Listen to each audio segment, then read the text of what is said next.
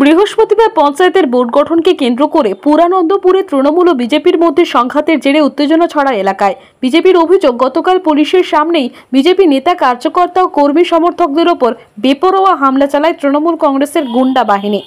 এবং এই হামলায় বিজেপির পনেরো জন আহত হয়। হামলাকারীদের বিরুদ্ধে থানায় অভিযোগ দায়ের হলেও তাদের গ্রেপ্তার করেনি পুলিশ।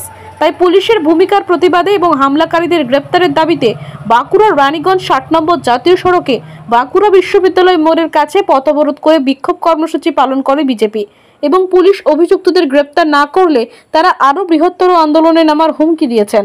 বোর্ড গঠনের সময় বিজেপির ওপর হামলার অভিযোগ অভিযুক্ত তৃণমূলীদের গ্রেপ্তারের দাবিতে জাতীয় সড়ক অবরোধ করে বিক্ষোভ বিজেপির। বিশ্ববিদ্যালয়ের সামনে পদ অবরোধ করেছে কিসের জন্য?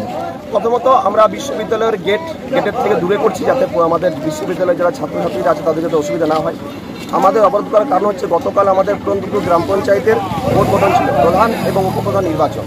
আমরা যথাসময়ে কার্যকর্তারা আমরা হাজির হই এবং আমাদের প্রার্থীরা, আমরা প্রার্থীরা আমাদের সুরক্ষিত জায়গায় রাখি, তাদেরকে আমরা পরে নিয়ে আসি। তো আমরা যখন কাঞ্চনপুর মোড়ের সংলগ্ন যে এলাকায় আমরা হাজির হই, তখন আমাদের কর্মীরা কম সংখ্যায় ছিল।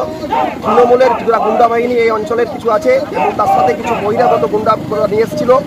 আমাদের নির- নিরীহ এবং নিরস্ত কর্মচারী বিজেপি আমাদের কার্যকর্তাদের ওপর তারা অতর্কিত, পাইপ, রড, তরোয়াল এরকম প্রাণঘাতী মারণাস্ত্র নিয়ে তারা হামলা করে এবং আমাদের প্রায় কুড়ি জনের, পনেরো কুড়ি জন কর্মীদেরকে আহত করে। তাদের মধ্যে কয়েকজন গুরুতর, একজনের কন্ডিশন সিরিয়াস তাকে অলরেডি পিজি হসপিটালে রেফার করা হয়েছে।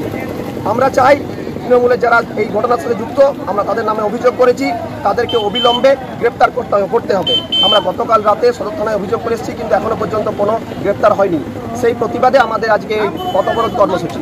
যদি গ্রেপ্তার করে না করা হয় তো কি করবেন? গ্রেপ্তার না করা হলে আমাদের এই পথ অবরোধ কর্মসূচি চলবে এবং আগামী দিনে আমরা এর থেকে আরও বৃহত্তর কর্মসূচি নেব এবং তার দায় থাকবে সম্পূর্ণ পুলিশ প্রশাসন। আপনার নাম? আমার নাম শ্রী অভিজিৎ সিংহ। কোন আমি বাঁকুড়া জেলার যুবমোর্চার সহসভাপতি।